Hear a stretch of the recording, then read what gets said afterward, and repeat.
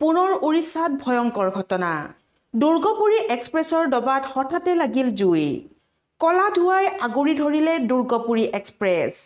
জুই দেখি যাত্ৰীৰ মাজত লাগিল হাহাকাৰ। ততালিকে অগ্নি নিৰ্বাপক বাহিনীয়ে নিৰ্বাপন কৰে জুই। সৌভাগ্যক্ৰমে হতাহত হোৱা নাই কোনো লোক। ভয়ংকৰ বিপদৰ পৰা কথমপি ৰক্ষা পৰিল শ শ যাত্ৰী। দহ দিনো হোৱা নাই উৰিষ্যাৰ সেই ভয়ংকৰ ঘটনাৰ। কিন্তু তাৰ মাজতে এক ভয়ংকৰ দুৰ্ঘটনা হ'বলৈ ধৰিছিলে উৰিষ্যাৰ এই ৰেলখনত। সৌভাগ্যক্ৰমে শ শ যাত্ৰী ৰক্ষা পৰিল এক ভয়ংকৰ দুৰ্ঘটনাৰ পৰা।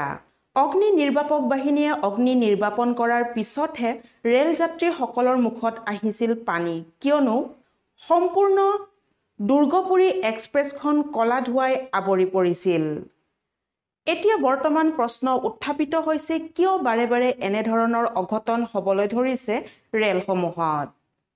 আমি আশা কৰিছোঁ ভৱিষ্যতলৈ যাতে এনে ভয়ংকৰ দুৰ্ঘটনাৰ সন্মুখীন কোনেও হ'ব লগা নহয়।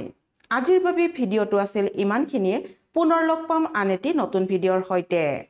আৰু যদিহে আপোনালোক পোন প্ৰথমবাৰৰ বাবে মোৰ চেনেলটোলৈ আহিছে তেনেহ'লে প্লিজ চেনেলটো ছাবস্ক্ৰাইব নকৰাকৈ নাযাব।